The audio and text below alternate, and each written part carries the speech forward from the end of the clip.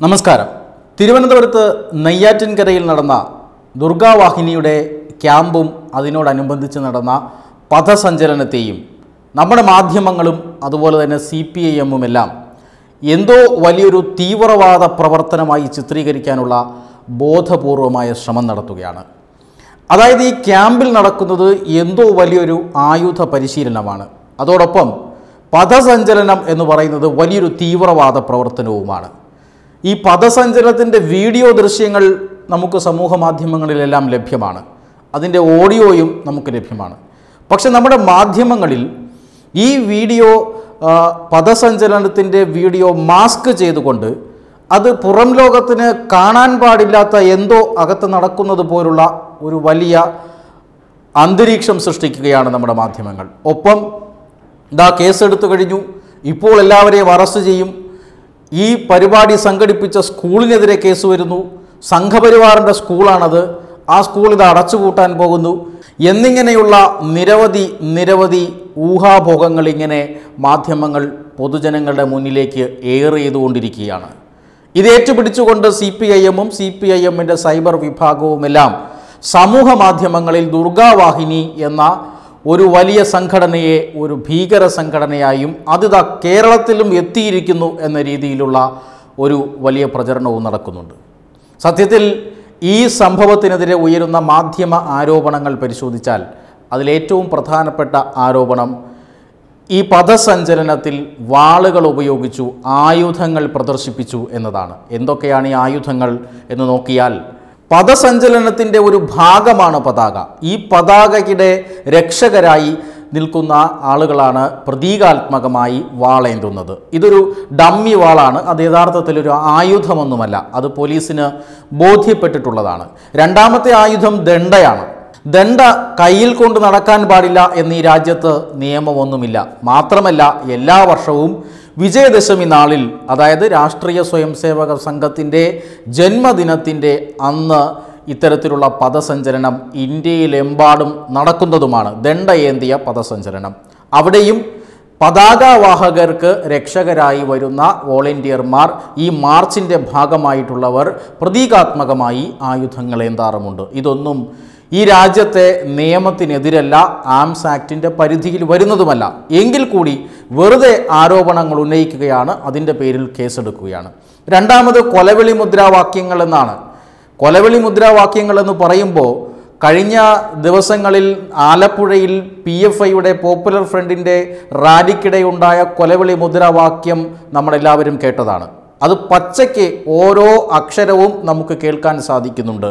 ദുർഗാവാഹിനിയുടെ പദസഞ്ചലനത്തിലും അത്തര യാതൊരു വിധത്തിലുള്ള മുദ്രാവാക്യം കൊലവിളി പോയിട്ട് മുദ്രാവാക്യം പോലും ഉയരുന്നില്ല എന്നുള്ളത് നമുക്ക് കാണാവുന്നതാണ്. കാരണം റൂട്ട് മാർച്ചുകൾ എന്ന് പറയുന്ന പദസഞ്ചലനം അത് രാഷ്ട്രീയ സ്വയംസേവക സംഘം അതുപോലെ തന്നെ ദുർഗാവാഹിനി അത് സ്കൗട്ട് ആൻഡ് ഗൈഡ്സ് പോലുള്ള ചില ഏജൻസികൾ അതോടൊപ്പം ചില കായിക താരങ്ങൾ ഇവരെല്ലാം ഈ റൂട്ട് മാർച്ച് അഥവാ പദസഞ്ചലനം നടത്തുന്നവരാണ്. റൂട്ട് മാർച്ചിൽ ആരും മുദ്രാവാക്യം വിളിക്കാറില്ല. അവിടെ ഉയർന്നു കേൾക്കുന്ന ശബ്ദം റൂട്ട് മാർച്ചിനോടൊപ്പം നീങ്ങുന്ന ഘോഷ് അഥവാ മാർച്ചിംഗ് ബാൻഡ് മാത്രമാണ്.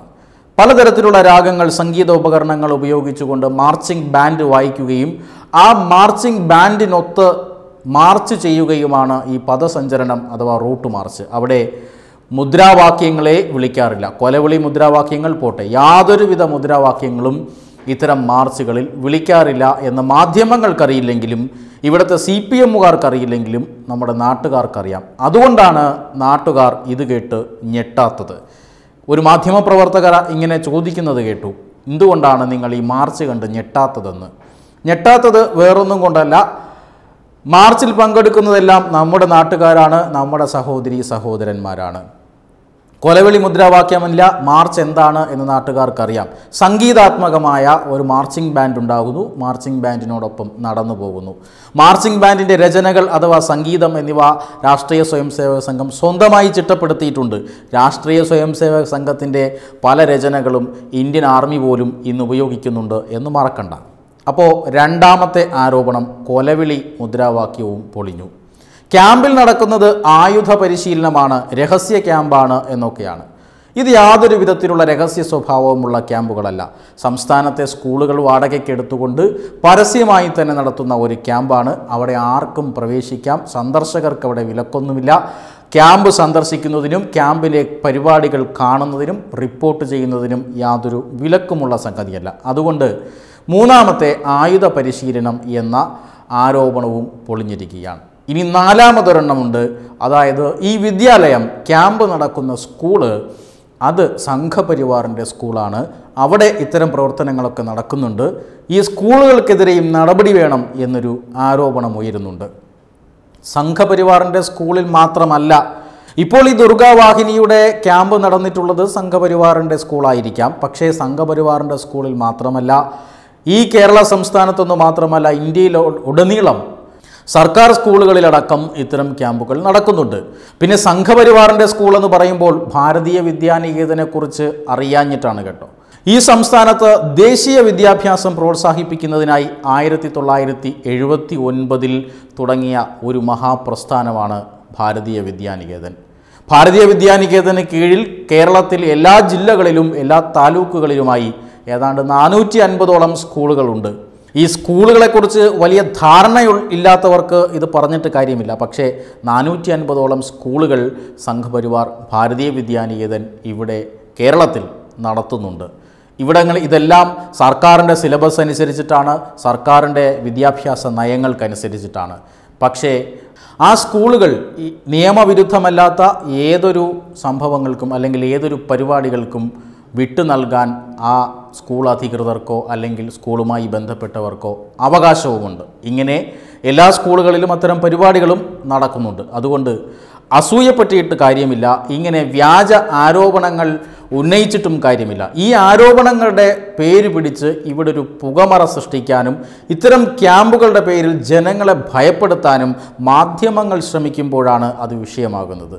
ദുർഗാവാഹിനിയുടെ ക്യാമ്പും അതുപോലെ തന്നെ പദസഞ്ചലനത്തിന്റെയും വീഡിയോയും ദൃശ്യങ്ങൾക്കും ദൃശ്യങ്ങളുമെല്ലാം നിങ്ങൾക്ക് അതുപോലെ തന്നെ കാണിക്കാവുന്നതാണ്. മാസ്ക് ചെയ്ത് ജനങ്ങളെ തെറ്റിദ്ധരിപ്പിക്കേണ്ട കാര്യമില്ല.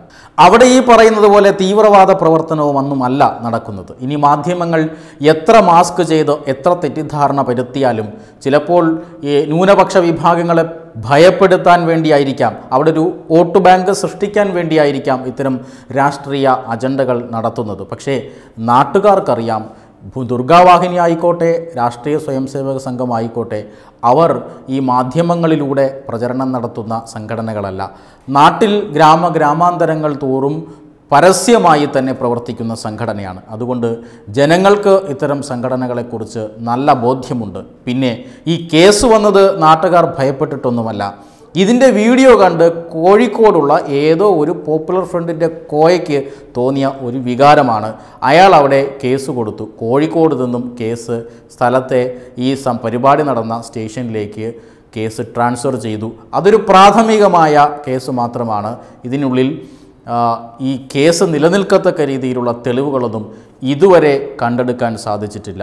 വലിയ ആയുധങ്ങൾ ഉപയോഗിച്ചിട്ടാണ് ഇവിടെ പരിശീലനം നടത്തിയതെങ്കിൽ ആയുധ പരിശീലനമാണ് ഇവിടെ നടത്തിയതെങ്കിൽ ആഭ്യന്തര വകുപ്പ് നിങ്ങളുടെ കയ്യിലാണല്ലോ. പോയി ആയുധങ്ങളും ആയുധം ഉപയോഗിച്ചവരെ എല്ലാം പിടിച്ചെടുക്കണം സാർ. ഇല്ലാതെ വായിട്ടലച്ച് വെറുതെ പുകമറ സൃഷ്ടിച്ചുകൊണ്ട് സമൂഹത്തെ ഭയപ്പെടുത്തിയിട്ട് എന്ത് കാര്യം? Web desk Tatwamayi news.